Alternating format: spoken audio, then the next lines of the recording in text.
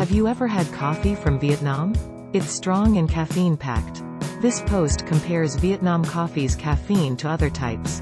We'll also discuss caffeine-rich coffee's pros and cons. Coffee lovers are always looking for new roasts. Vietnamese coffee is unique. This coffee's flavor is unusual. And caffeine? Caffeine in Vietnamese coffee? Examine it. Caffeine in Vietnam coffee. Vietnamese coffee's caffeine content varies by roast. Darker roasts have more caffeine. Light roasts have less caffeine. Vietnamese coffee contains 100 milligrams of caffeine. This is more caffeine than a cup of American coffee, which has 65 milligrams. American coffee is a low caffeine choice. Vietnamese coffee is strong.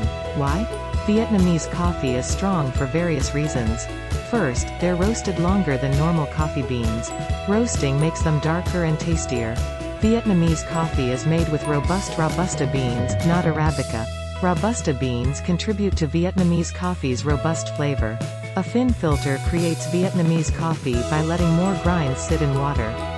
Vietnamese coffee is robust due to the bean type, roasting time, and brewing method. For a weaker cup, use Arabica beans or a different brewing method.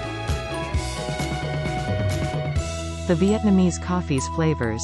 Vietnamese coffee is distinct from other types of coffee because of its distinctive flavor.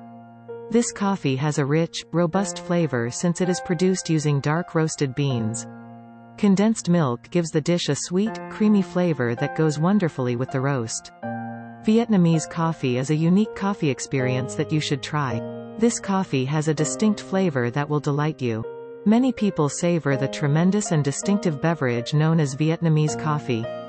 Be mindful of how much caffeine you consume because the caffeine in Vietnam coffee has a high concentration. We sincerely hope this blog post has given you more information regarding the amount of caffeine in Vietnam coffee and safe drinking practices.